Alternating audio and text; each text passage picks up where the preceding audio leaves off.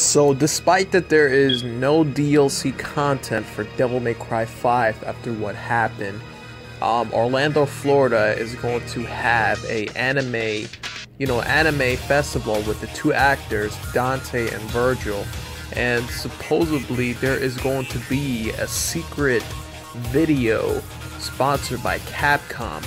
Before that happens, of course, they're going to tell the people attending the event to shut up their cell phones and no cameras until Capcom reveals it.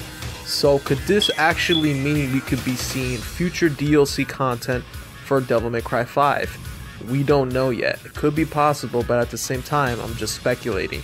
It will be in five days. This is an article. We could see DLC for this game. I hope so, because the game is far from dead next to Resident Evil 2, but we'll see what happens in